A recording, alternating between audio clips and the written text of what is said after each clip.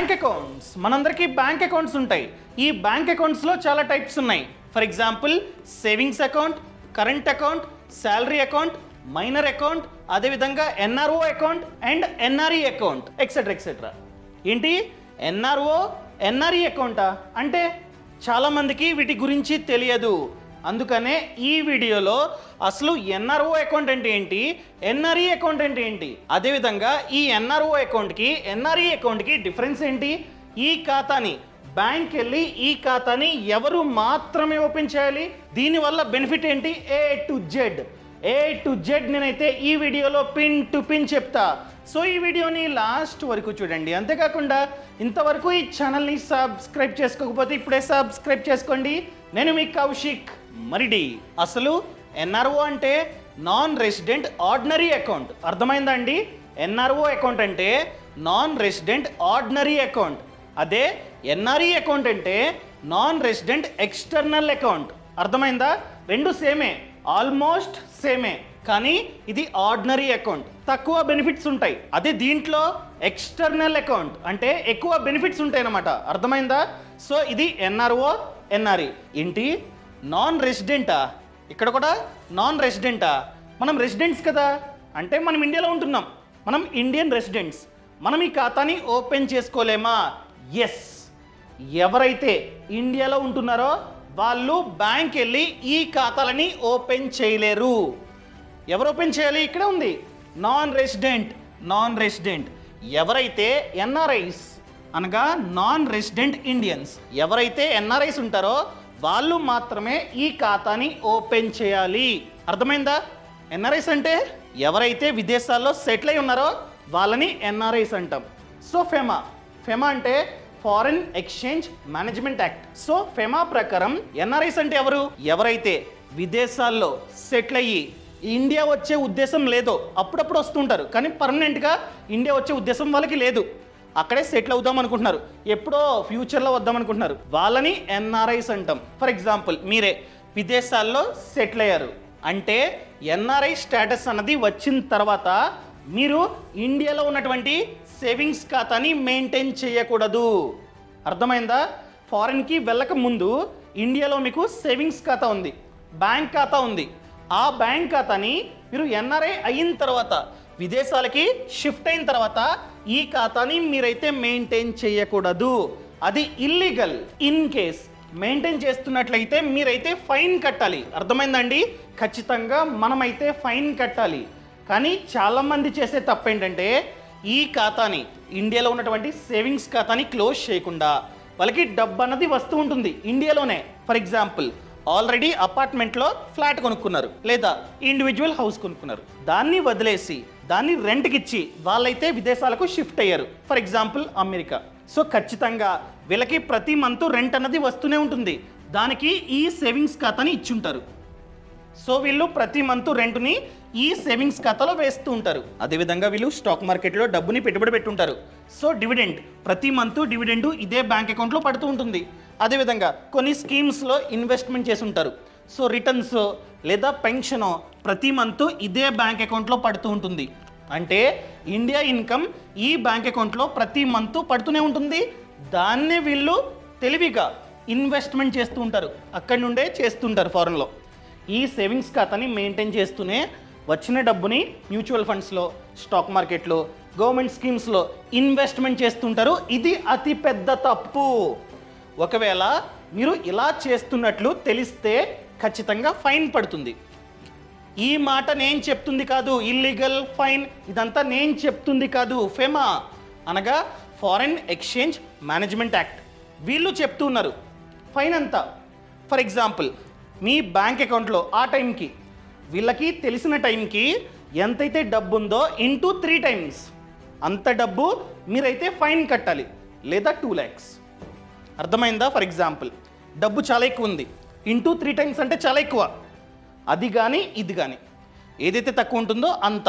Minimum ఎలా చూసుకున్నా two lakhs మీరైతే ఫైన్ కట్టాల్సిందే. అర్థమైందండి ఫర్ ఎగ్జాంపుల్ టెన్ థౌజండే ఉంది. టెన్ థౌజండ్ ఇంటూ త్రీ అంటే థర్టీ థౌజండ్ ఇంత ఫైన్ మీరైతే కట్టాలి. ఎందుకంటే దీనికంటే ఇది తక్కువ. థర్టీ థౌజండ్ తక్కువ. ఎక్కువ ఉందనుకోండి మీరు మినిమం ఇంత ఫైన్ కట్టాల్సిందే. అర్థమైందా?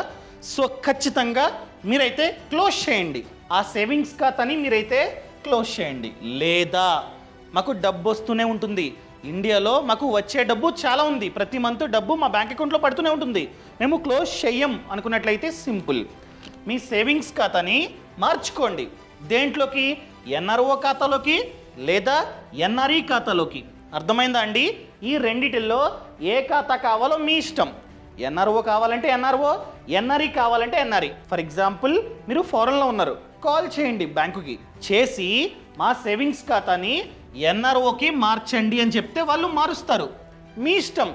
రెండిటిలో ఏది కావాలంటే అది మీరు చూస్ చేసుకోవచ్చు. లేదా విదేశాల్లోనే బ్రాంచెస్ ఉంటాయి. State Bank of India HDFC ఈ బ్రాంచెస్ ఉంటాయి. ఆ బ్రాంచెస్కి వెళ్ళి వాళ్ళు కొన్ని డాక్యుమెంట్స్ అడుగుతారు. అవన్నీ ఇస్తే వాళ్ళే మారుస్తారు. సరే మేము ఎన్ఆర్ఓ ఖాతా తీసుకోవాలా లేదా ఎన్ఆర్ఈ తీసుకోవాలా? మీ ఇష్టం. ఆల్రెడీ చెప్పా. ఎన్ఆర్ఓ అంటే నాన్ రెసిడెంట్ ఆర్డినరీ ఫీచర్స్ తక్కువ ఉంటాయి. అదే ఎన్ఆర్ఈ అంటే ఎక్స్టర్నల్ ఎక్కువ ఫీచర్స్ ఉంటాయి. చిన్న ఎగ్జాంపుల్ చెప్తా. మీకు ఇండియాలో ప్రతి మంత్ డబ్బు వస్తుంది. Indian income for example rent dividend అది ఇది అని చెప్పి మీకు ప్రతి మంత్ డబ్బు వస్తున్నట్లయితే మీరు ఫారిన్ డబ్బుని అక్కడ సంపాదించే డబ్బుని ఈ ఖాతాలో నేను డిపాజిట్ చేయను అనుకున్నట్లయితే ఎన్ఆర్ఓ ఖాతా. సో ఎందుకంటే ఫర్ ఎగ్జాంపుల్ ఇండియాలో మీ పేరెంట్స్ ఉన్నారు. మీ పేరెంట్స్ ఈ డబ్బుని విత్డ్రా చేసుకోవచ్చు. నచ్చినప్పుడు వాళ్ళకి ఒక డెబిట్ కార్డ్ ఇస్తారు. వాళ్ళు ఇండియాలోనే కార్డు పెట్టి డబ్బులు తీసుకోవచ్చు. సో అందుకని ఇండియాలో మీకు డబ్బు వస్తున్నట్లయితే ఎన్ఆర్ఓ ఖాతాని ఓపెన్ చేసుకోండి. ఎన్ఆర్ఈ ఎవరికి? ఎవరికైతే ఇండియాలో ప్రతి మంత్ డబ్బు రావట్లేదో ఎవరైతే ఫారెన్లో సంపాదించే డబ్బుని ఈ ఖాతాలో దాచుకుందాం అనుకుంటున్నారు. ఇదంటే ఇదే. ఎందుకంటే దీన్నే మార్చుకుంటున్నారు. సేవింగ్స్ ఖాతానే మార్చుకుంటున్నారు. జస్ట్ మారుతుంది అంతే పేరు మారుతుంది. ఐఎఫ్ఎస్సి కోడు అకౌంట్ నంబర్ ఏవి మారవు. బ్యాంకు బ్రాంచు ఏవి మారవు. జస్ట్ పేరు మారుతుంది అంతే సో ఫారెన్లో సంపాదించే డబ్బుని దాచుకుందాం అనుకున్నట్లయితే మీరు ఎన్ఆర్ఈ ఖాతాని ఓపెన్ చేసుకోండి. నేను ఫారెన్లో వచ్చే డబ్బుని పెద్దగా డిపాజిట్ చేయను. అప్పుడప్పుడు మాత్రమే చేస్తాను. ఇండియాలో వచ్చే ఆదాయమే ఇందులో ఉంటుంది అనుకున్నట్లయితే ఎన్ఆర్ఓ ఖాతాని మీరైతే ఓపెన్ చేసుకోండి. సో మీరు డాలర్స్లో వేసిన ఇండియన్ రూపీస్లో వేసిన ఫైనల్గా డబ్బు అనేది రూపీస్లోనే ఉంటుంది. మన ఇండియన్ బ్యాంక్స్లోనే ఉంటుంది. రూపీస్లోకి మారి ఉంటుంది. అర్థమైందా? ఇది మేజర్ డిఫరెన్స్ అనమాట ఇంకా క్లియర్గా చూద్దాం. ముందుగా ఎన్ఆర్ఓ ఖాతాని మనమైతే చూద్దాం. ఆల్రెడీ చెప్ప ఎవరైతే ఇండియాలో ఇన్కమ్ని సంపాదిస్తున్నారో డిపాజిట్స్ చేద్దాం అనుకుంటున్నారో వాళ్ళు ఈ ఖాతాని ఓపెన్ చేస్తే మంచిది. ఆ ఇన్కమ్ రెంట్ కావచ్చు డివిడెండ్స్ కావచ్చు పెన్షన్ కావచ్చు ఏదైనా కావచ్చు. అర్థమైందండి? మీరు కావాలంటే అక్కడ సంపాదించే డబ్బును కూడా మీరు డిపాజిట్ చేసుకోవచ్చు. ఫర్ ఎగ్జాంపుల్ డాలర్స్ ఇష్టం వచ్చినట్టు వచ్చే డబ్బులు అక్కడ మీరు డిపాజిట్ చేస్తూనే ఉన్నారు.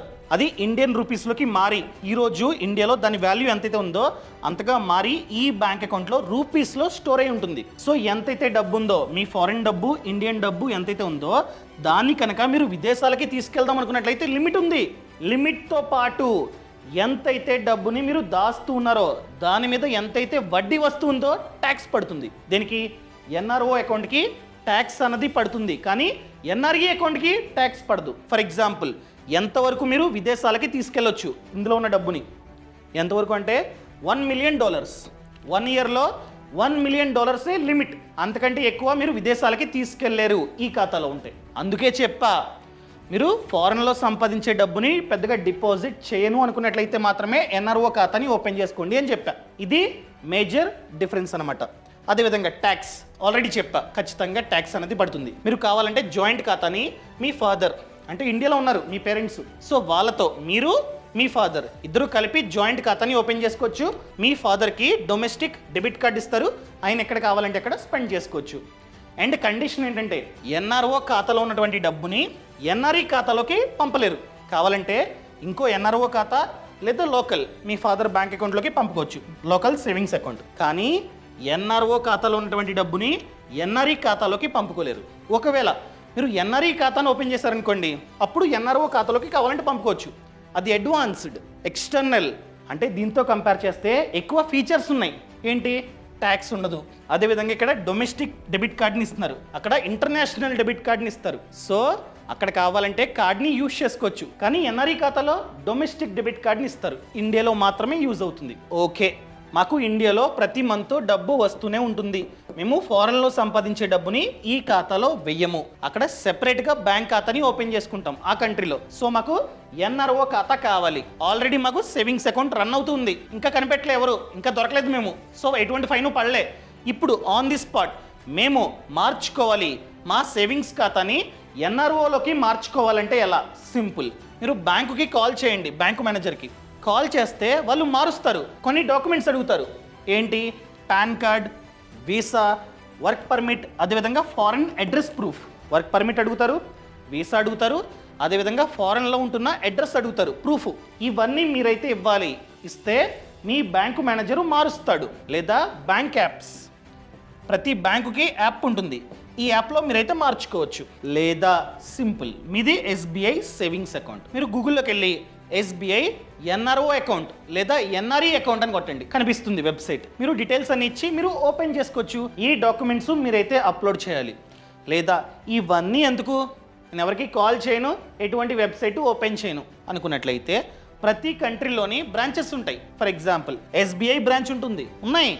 హెచ్డిఎఫ్సి బ్రాంచ్ ఉంటుంది. ఆ బ్రాంచెస్కి వెళ్ళి ఈ డాక్యుమెంట్స్ అన్ని ఇచ్చి మీరు ఖాతాని మార్చుకోవచ్చు. సో అకౌంట్ నంబర్ కావచ్చు ఐఎఫ్ఎస్సి కోడ్ కావచ్చు ఏమీ మారవు. ఇది ఎన్ఆర్ఓ. అదే ఎన్ఆర్ఈ.